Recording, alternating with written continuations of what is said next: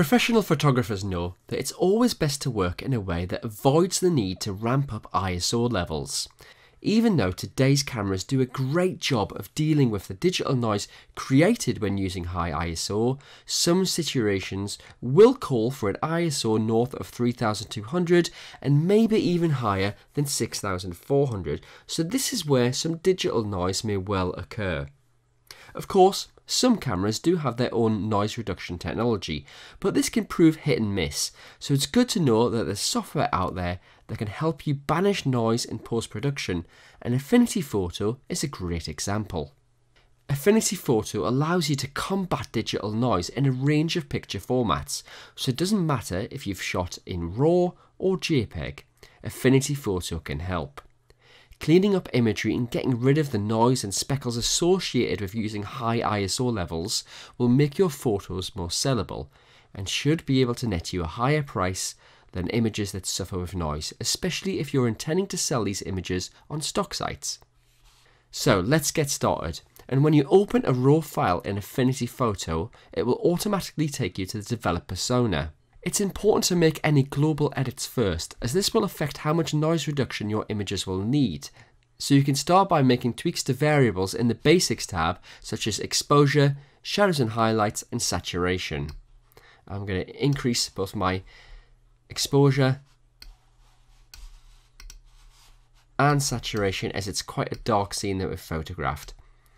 And you'll see already a big jump in the noise levels visible in this frame.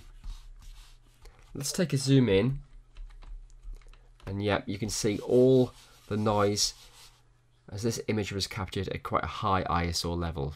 At the right of the interface, you can now switch from the Basics tab to the Details tab and click on the noise reduction option.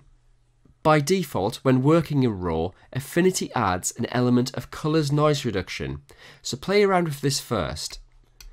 Remember, don't just ramp it up to 100 or that will really compromise image quality.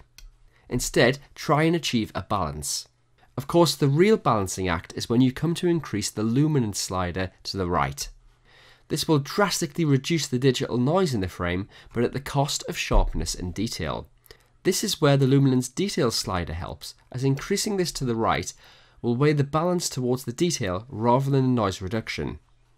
Again, experiment with the sliders to find the best recipe for your image, once you're happy with the raw file, you can then head to the top left of the interface and click on the Develop button option. You'll be transported into the software's photo persona, and this is where you'd actually start if you were editing a JPEG image rather than a RAW. You can edit this image non-destructively, either as a whole frame or elements of the frame such as the sky. So we're going to head over to the toolbar so we can use the selection tool, and the keyboard shortcut for this is W.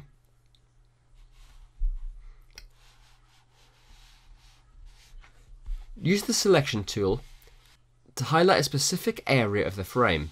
In our case, it's going to be the sky. What we're going to do is add some further noise reduction, but not to the whole frame, just to the sky. With your area selected, head to the top of the interface and select the layer option. Scroll down, select new live filter layer, scroll across, select noise, and then select denoise. A dialog box will appear and this gives you roughly the same options that we had in the raw develop option. So we can increase colors and we can increase luminance. And this will further denoise the sky while leaving the rest of the frame untouched by this denoising. Because this is a non-destructive edit, if you don't like it, you can simply take it away and start over again. There we go, that's how to use noise reduction in Affinity Photo, whether it be with a JPEG or a RAW file. Have fun editing your images and I'll see you next time.